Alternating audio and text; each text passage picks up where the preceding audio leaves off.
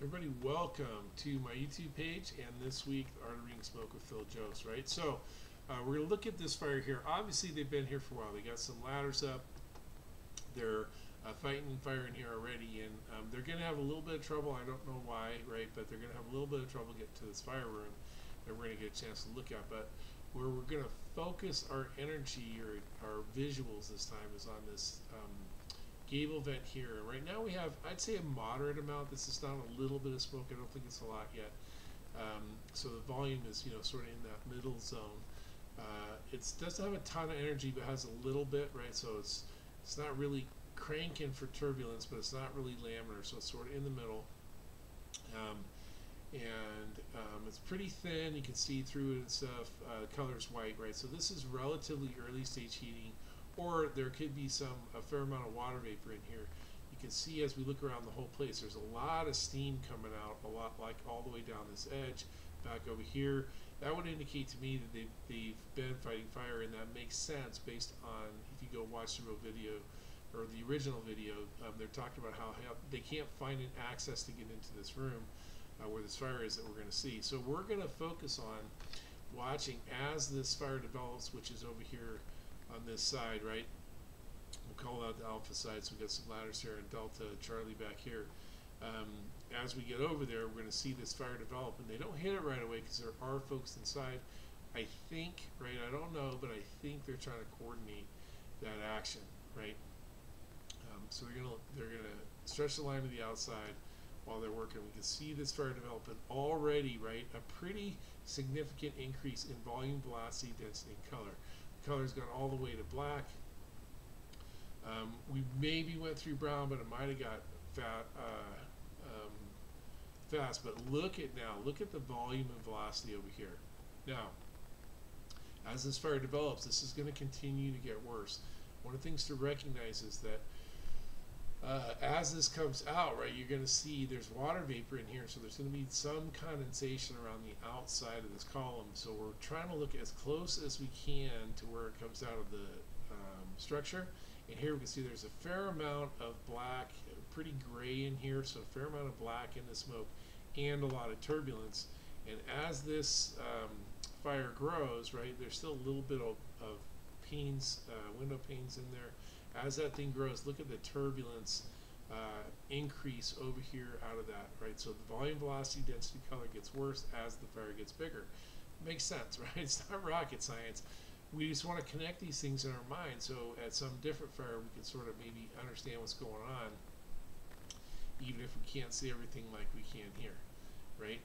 Um, so we're going to get another look at it here in just a second and notice that like this is really cranking out of here now it's really cranking um, there's a couple other things we can notice while we have this stopped and this is something that we that I talk about a lot when I'm teaching reading smoke is looking at these windows and look at the difference right all these windows are basically the same but look at the difference between the way these two look up here and the way it looks down on floor one right so there's a significant impact on these two windows already and like I said based on my understanding from watching the video, that's because they've been there a while. There was fire working, but there's certainly smoke in that space.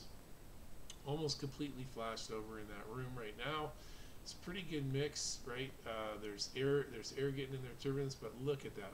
Lots of turbulent, thick black smoke coming out of this eave. Now, uh, the next thing we're going to get to see is they're going to hit it from the space. So they're here, they don't have a great angle, but they get some water in here they swing around and they get in from over here. And whenever we see water applied, the first, visually, the first thing we're going to see from a reading smoke per perspective is a rapid, right, billowing, lots of billowing steam, right, which is what we see here, right. Um, the color just gets better and better and better along here. Um, there's still some turbulence coming out of this end over here, but the color has changed. Now when they switch and they get to this other end, right, so you can see a lot more water vapor in there right now, which of course makes sense, but we want to connect these things in our mind. Still a little bit of fire over on this side, they're going to hit it from this side, we're going to get another chance to see that smoke coming out of the gable end. And again, we're going to have massive, right, massive amounts of billowing, but look, look at the difference that's made in a relatively short period of time all the way along here where even when they were first hitting it, there was a lot of smoke, right? Um, some of it black, but now it's almost all um, clean, pristine, dissipating. We got a little bit of color in here, but clean, pristine, dissipating here. This this billowing versus turbulence, right? Overall, just a significant change. The other thing is there's a there there, there there's a neutral plane now um, at this window, right? So the the neutral plane's reestablishing itself in that space, increasing visibility down low, and overall, I'm sure temperatures are way down in the second floor in the in that 20 to 30 seconds, right? So look at the difference here, right? Um, if we go back to maybe like writing, oh, before they started hitting it, right? Before they started hitting it. Let me get there. All right. Okay, so here, look at that right there. Along here, there's there's some pressure. Then they start hitting it. We're going to get a significant increase, and there's some pretty good color in there, right? So overall, um, just copious volumes of billowing steam um, with that first application of water. We wa we'll watch them walk around again, and we'll see this all change in relatively short order as these BTUs, as fire is knocked down, so it's not creating BTUs, and then those BTUs are absorbed by the water water that they put in there, right? In relatively short, in relatively short order, they have a pretty big impact on this fire.